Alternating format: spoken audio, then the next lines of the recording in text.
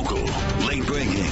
This is Channel 2 Action News Sunday AM. Coverage you can count on. Today, a suspected serial rapist is off the streets of Metro Atlanta. We are learning how police say he preyed on women and why they think there may be more victims. Plus, this morning, a soldier killed in Afghanistan comes home. The patriotic send-off planned to honor his service. And we are keeping a close eye on the highways all morning, the areas you might get stuck in traffic because of weekend construction.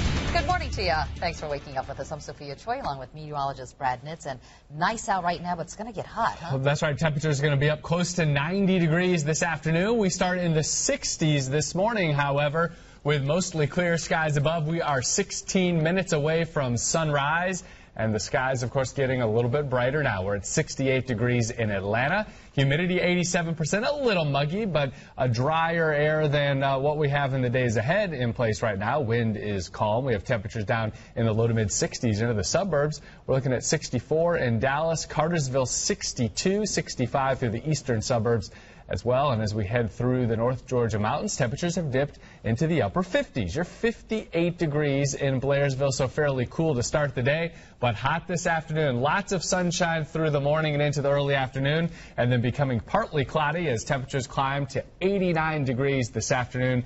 A stray shower or thunderstorm possible. I'm going to put the rain chance in and around metro Atlanta only at 10%. Mm. Um, almost all of us, if not the entire metro area, stays dry. A slightly better chance at 20% of an isolated shower or storm over the northeast Georgia mountains this afternoon. We'll talk more about that and our rain chances in the day ahead coming up in your five-day forecast. We'll see you soon. Okay. Thank you, sir. Our top story this morning, police believe there may be more victims of a suspected serial rapist. Investigators say Gregory Hillman used his car repair business to target women. Channel 2's Amanda Cook is live at the Fulton County Jail, where Hillman is locked up on several charges this morning. Good morning, Amanda. Good morning, Sophia. You know, it's hard to hear the list of charges against Gregory Hillman.